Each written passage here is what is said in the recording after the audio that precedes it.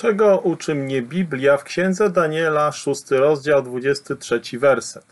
Mój Bóg posłał swojego anioła, by zamknął paszczę lwów, tak że mi nie zaszkodziły, gdyż przed nim jestem niewinny, nadto względem Ciebie, królu, nic złego nie popełniłem. Księga Daniela, 6 rozdział, 23 werset. O Boże, niech będzie nad całą ziemią chwała Twoja. Psalm 57, werset 6. Chrystus był wierny od początku do końca.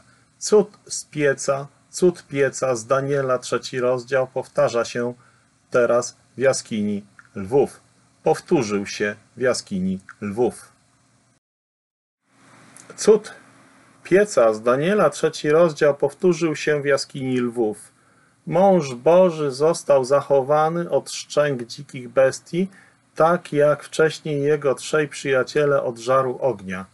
List do Hebrajczyków, 11 rozdział 33 do 34 wersetu pokazuje nam ich wspólną tajemnicę. Przez wiarę zamknęli paszczę lwów, ugasili gwałtowność ognia. Możemy się zastanawiać, dlaczego Bóg wybawił tych sług, podczas gdy tak wielu innych oddało życie jako męczennicy na stosie lub na arenie. I możemy o tym przeczytać w Hebrajczyków 11:37. Zasadniczo Bóg chronił tych świadków, aby pokazać swoją moc. Tutaj jest w konfrontacji z Dariuszem.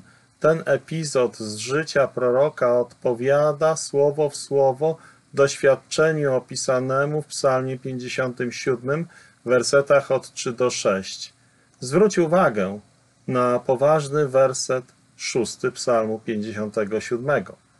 Daniel bardzo przypomina nam Pana Jezusa. Pan Jezus Chrystus był wierny od początku do końca. Był obcym, oddzielonym od świata, ale zawsze gotowym czynić w nim dobro i objawiać zamysły Boga. Podobnie jak Daniel nie dał podstaw do żadnego oskarżenia i został potępiony bez powodu za swoją wierność. Powstał jednak triumfalnie ze śmierci, co możemy porównać z paszczami ryczącego lwa, jak to robi Psalm 22, wersety 13 i 21. I powstał jednak triumfalnie ze śmierci, która ma być udziałem niegodziwców. Tak, chwała naszemu Odkupicielowi. Łaska Boża jest niezwyciężona.